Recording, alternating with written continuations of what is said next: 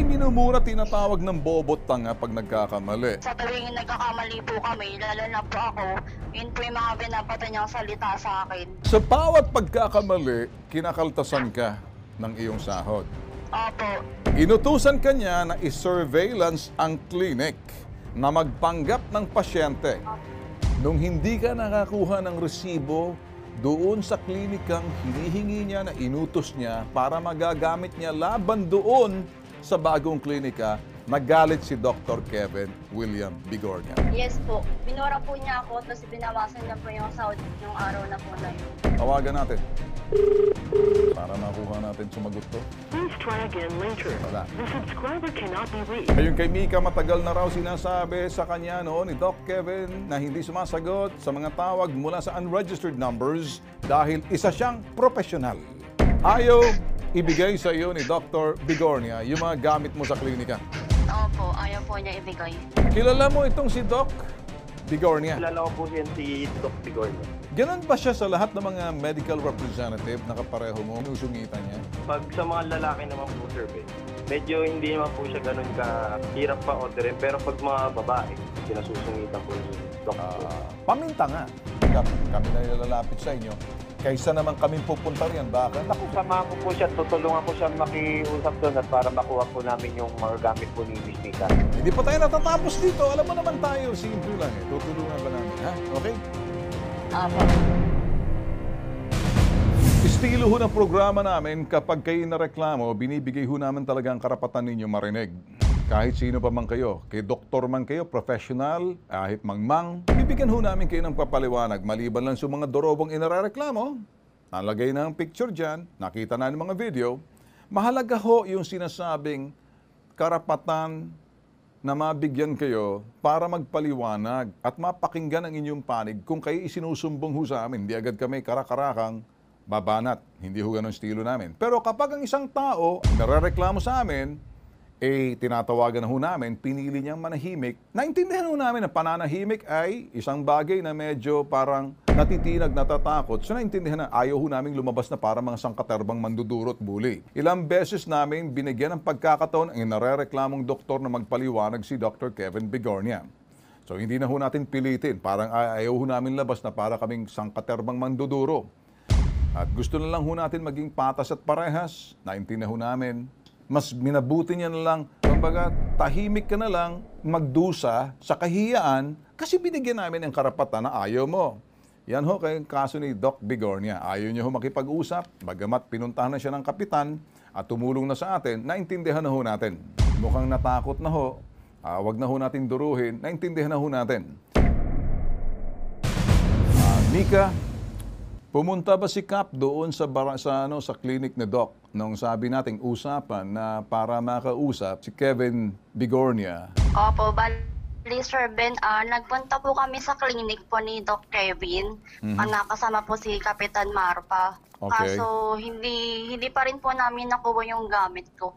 Tapos Ah. hindi pa rin, hindi nila ako pinapasok po sa loob ng clinic. Si Kapitan lang daw po yung pwedeng pumasok sa loob. Okay. So nung kinausap siya ni Kapitan, may nangyari ba or ano natakot na dahil may iskandalo na, kinukuhanan, nagtago na si Doc Kevin Bigornia sa loob ng kanyang klinika.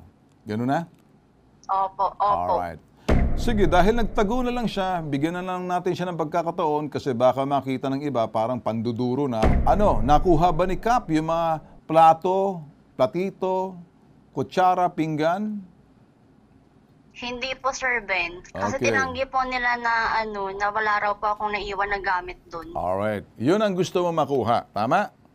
Opo, At opo. dahil dyan, bibigyan ka namin ng set ng isang plato, pinggan, tasa, baso. Set na yun, ha? Kami na lang ang magbibigay sa iyo. Alright? Salamat po. Okay. Opo. Ah, papadala namin sa yan. Ah, baka naman sa sobrang galit ni Doc Kevin Bigornia, binasag-basag niya, pero okay lang. Kami naman, naintindihan na namin si Doc na tinag, natakot ng husto. Alright? Hindi na lang namin buduruhin.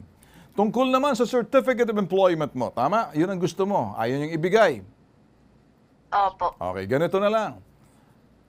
Pumunta ka doon sa gusto mong applyan na trabaho. Gamitin mo ako as y- yung reference mo na hindi binigay ni Dr. Bigornia yung dati mong boss, at testigo kami nagalit sa iyo dahil pinatulfo. At dahil dyan, sabihin mo, ayan, may mga dokumento, may mga segment na ipinalabas sa TV para ito'y magpapatunay na pinahihirapan ka nitong si Dr. Bigornia. Kami na lang ang tatayo para sa iyo. Ano bang alam mong trabaho, Mika? Ano po, ah, marami na rin naman po ako naging experience po na trabaho. Tulad ng? Ah, nag, na, nagkahera po ako sa ACE po. Okay? Tapos yun nga po, nag-secretary po ako. Okay? Nag-sales lady pa din po ako sa mall. Sandali, Nika, may alam ka ba ng trabaho sa loob ng opisina? Meron po, Sir Ben. May alam kang paggamit ng computer? Yes po, Ma- meron naman. marunong kang sumagot sa telepono? Opo. Mukhang pulong ka naman ng skills eh. Gamitin mo lang kami as reference, okay na. Pero kung sakaling wala ka pang trabaho na makuha, antay-antayin mo lang, baka tawagin kita. Gusto mo magtrabaho sa amin? po. O gagawin kami ng paraan na baka sakaling maka makatulong ka sa amin. Saan ka ba nakatira? Malayo? Malapit lang? Dito lang din po sa Navaliches po. O, malapit ka lang. Relax ka lang. Okay? May plano ako para sa iyo. Okay? Salamat po, Sir O, walang ano man. Kasi ayoko ng simple lang ang problema mo. Eh, natakot ng husto, nanginig ng husto, eh, nangatog ng husto. Nagkakalansingan ng yagbol. Este, uh, bet, bets, uh, betlog ni si, okay, si Bombolius pala. Nitong si Dr. Bigornia. Ayaw na namin siyang gambalain patpahiya na. Kasi sumuko na eh. Ayaw talaga magsalita. Kawawa naman. Okay? Nakita mo? Opo. Siguro ang magagawa natin dito, okay, Charm? Ipadalhan na lang sa ano yung tawag dito, yung deliver ng Grab na ano, sa address mo, matatanggap mo yung mga plato, baso, brand new. Na talagang naka ano pa, na may signature pa from Ben Tulfo Bitag. Okay? At doon naman sa trabaho, relax ka lang. Mantayin mo lang na medyo magkabaku-bakuna na. Eh, baka meron akong job opportunities para sa iyo. Okay? Nasa hiring mode kami ngayon sa Bitag. Salamat po. Alright? Relax ka lang. But in the meantime, kung makahanap ka, good luck. Gamitin mo kaming resume. Alam naman, mabait ka naman na bata. Okay? Salamat po. Walang Opo. ano man. Ingat ka sa susunod, ha? Alam mo na ngayon kung kanino ka Opo. susumbong, okay? Kahit sino sa amin. Opo, Tulfo salamat Brothers, po. Rafi, Erwin, or kay Ben, mamili ka lang. Yan ang dahilan kung bakit may Tulfo Brothers. Alright? Opo. Alright. Sige.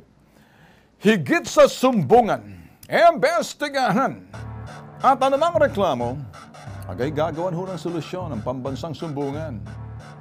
बिथाक